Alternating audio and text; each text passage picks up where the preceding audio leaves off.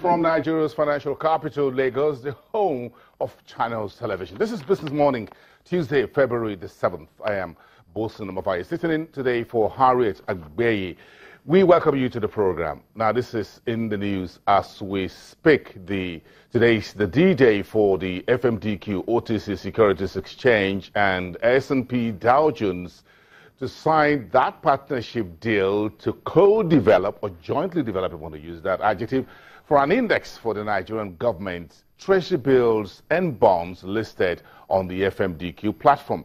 That event scheduled for 10 o'clock will get underway as we speak, and in the next couple of minutes, we'll get Harriet Agbe, who is a business morning anchor and producer, to talk to us on the phone uh, what she's seen on the ground as this very important event get underway. This is the first time in years, in history, to be more precise, that Nigeria's government treasury bills and Naira bonds will have an index that's jointly developed between a Nigeria trading platform where those securities are domiciled in partnership with an international organization such as the Standard & Poor's, the uh, owners and the developer of the S&P index on the New York Stock Exchange and other indexes around the world in various markets and jurisdictions, a very important milestone for Nigeria today.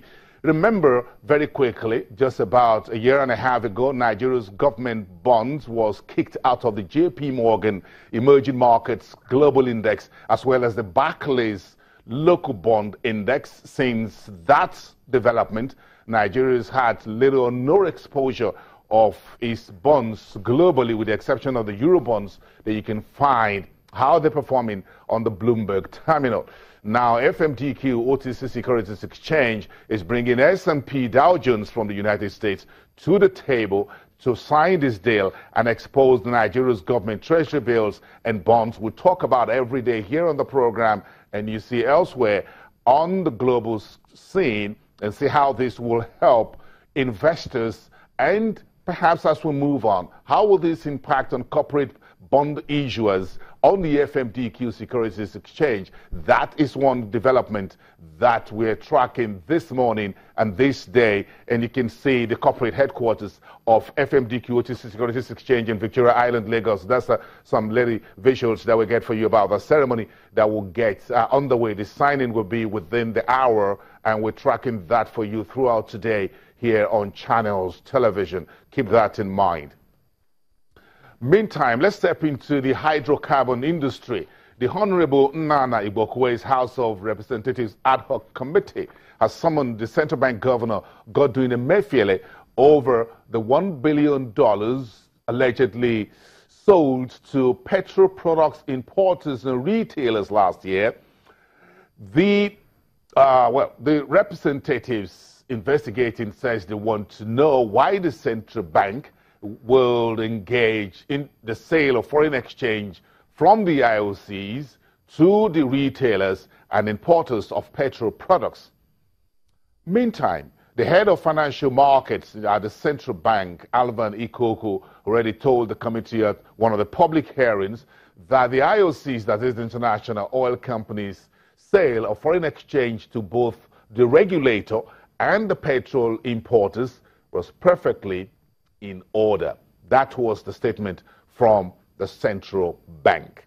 And that committee, the hoc committee at the House of Representatives, still sitting and asking all parties to step forward. Now, the head of the central bank has been asked to step forward once again and provide further clarity on that forex transactions. In keeping with the extractive industry, the Nigerian Content Development and Monitoring Board says plans is underway to conduct a forensic audit of the oil and gas industry. So what does, the, what does this board want? Uh, basically is to uh, seek or track infractions allegedly that some oil and gas companies or entities within the industry have been making deductions but not remitting them to the Nigerian Content Development Bond, that's the NCDF. That fund at the end of November last year had a balance of $600 million. Now, the Nigerian Content Development uh, Monitoring Board, which is the uh, midwife of the fund, now wants to do an audit and find out if all the remittances or deductions and remittances have been duly passed into the Treasury single account known as the TSA. That action is getting underway as far as the NCDMB is concerned, the forensic audit of the oil sector, tracking monies runs into hundreds of millions of dollars.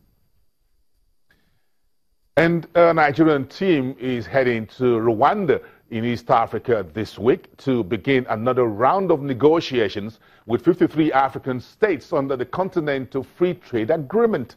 The agreement is to further expand cross-border trade between the 54 African countries, Nigeria being one of the biggest markets on the continent and most populous country and the largest economy. So the conversations will get underway this week. Today is Tuesday, the second day of the week. That team will be leaving for Kigali, the Rwandan capital.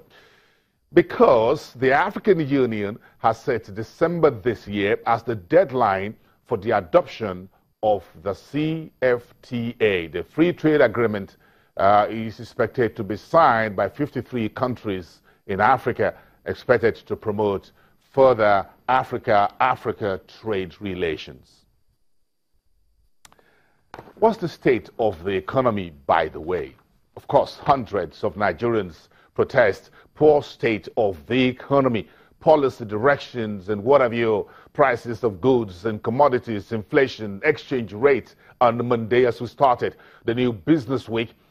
At the same time, just at the time when the vice president, uh, Professor Yemi Osinbajo, is sitting in Abuja with the organized private sector and the economic management team to put final touches touch to the National Economic Recovery Plan. That document is set for delivery before the end of February. It's been a number of months in the making, but now the government says that recovery plan 2017-2020 tenor will be formally unveiled before the end of this month. No date was set on the calendar, but that was what part of what the vice president, uh, acting on behalf of President Buhari yesterday, uh, sat on with the organized private sector and other uh, stakeholders that economic recovery plan is in the making. So, um, what's the atmosphere there? We saw a bit of a small uh, footage that you sent earlier. Nice of you. Thank you very much. Uh, is that of, uh, well, looks like something big is going down there, isn't it? Awesome. It's a very big day for FMDQ OTC Securities Exchange and for S&P uh, Dow Jones Index. Now, of course, you mentioned it at the start of the program. Today is a three in one, a triple whammy, actually. So FMDQ OTC Securities Exchange will be signing a memorandum of understanding with S&P Dow Jones Index for the development and publication of a co-branded fixed income indices in the Nigerian debt capital market.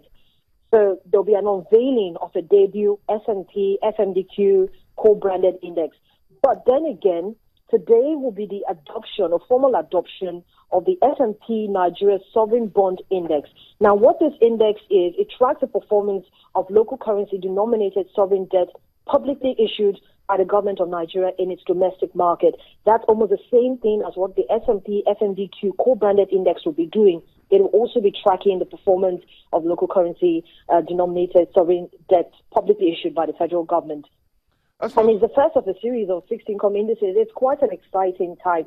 Uh, patronizing, taking a look at trading from yesterday, you read those numbers out. You still see that investors' apathy towards the fixed income segment of the market remains pretty strong in spite of what we see going on in the equities market. So the event has started right about now, and I'm very closely following it. I'm, ex- I'm ex- as excited. Yeah as everybody right. who's actually here today. Yes, you're excited, and thanks for raising the curtain today. We'll be back at 1.30 with you on Business Incorporated to bring us up to speed. We'll see all that is happening today, and this very important information. Let's take a break. When we come back, we get still sticking with the market.